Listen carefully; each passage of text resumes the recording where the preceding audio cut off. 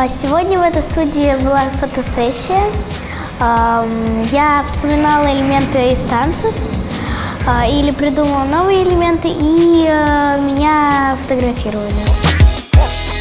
Я очень хорошо провела время. Большая часть элементов была акробатическая или гимнастическая. Э, Я не думаю, что каждый может это сделать. Это зависит от растяжки и зависит от всего.